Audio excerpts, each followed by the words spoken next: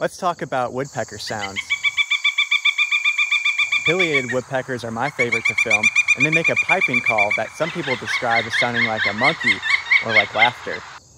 They're the largest woodpeckers in the US, which is why their calls are the loudest, including their drum calls.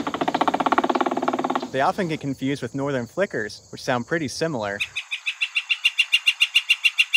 But northern flicker calls are a little more consistent in tone. They also make a single note call that sounds like this. In the southwest United States, you can see the gilded flicker, which is pretty similar. Red-bellied woodpeckers are pretty common, and they make this grumpy chanting sound. They also make a trill that sounds like this.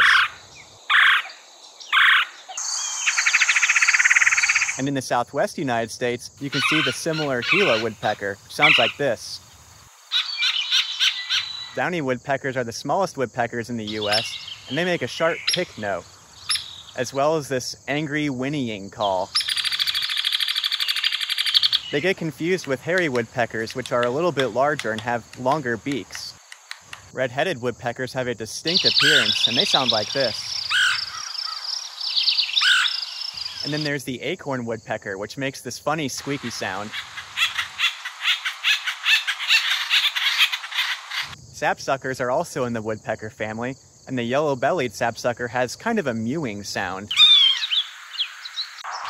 Woodpeckers also communicate through drum calls. Pileated woodpeckers have the loudest drum call, but red-naped sapsuckers have the most distinct drum call. There are many more sounds that woodpeckers make, and a lot more species in the US that I didn't cover. These are just the ones that I've filmed. But here's a few other woodpeckers that I've filmed that I think are worth mentioning.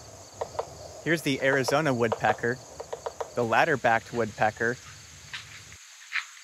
Williamson's sapsucker, and the three-toed woodpecker. Which woodpecker was your favorite?